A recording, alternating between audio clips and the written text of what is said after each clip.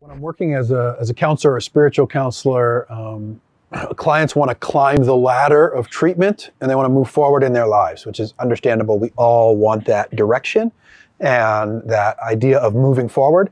Um, in treatment, that's a therapeutic issue. Uh, I don't mean that as an evasion. I mean our conception of what it means to move forward is a therapeutic issue. Um, so the answer that I used to give clients when they would ask, you know, when is it time to go? When am I ready to leave? Let's say, I used to say, um, when you're willing to stay. And it wasn't a, a joke, and I was taking their question sincerely. I wanted them to ponder what is this urge to move out, and what do I think is at the end of this journey?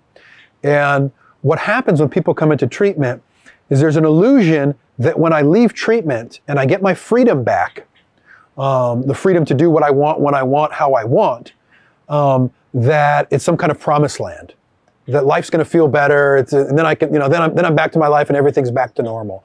But your life wasn't normal before you got there. You had an addiction problem and you were suffering. And in fact, when you leave treatment, life is more complex and difficult with less support. So it's actually harder.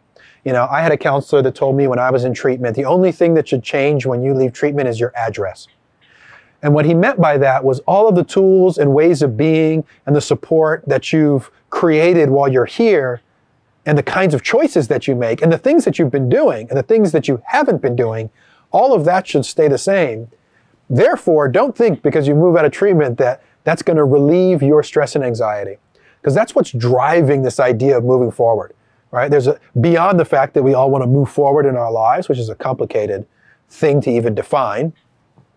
Um, there's a stress and anxiety that exists inside of all of us at all times. If you're active in addiction, there's a stress and anxiety that's really powerful on us. And we think if I can just get through these obstacles and move forward, that will relieve the stress and anxiety. But actually, what relieves the stress and anxiety is dealing with the underlying conditions of the stress and anxiety, integrating them into your life and your being, and living well. You know?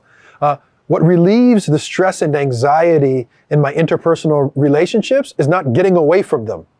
Then I'm just guilty because I'm not around, right? I have to work through them.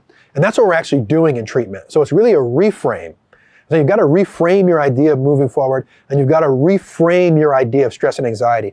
Another thing I used to do is I used to say that feeling that you have, that restlessness, that boredom, the anxiety that you feel, that's your ism.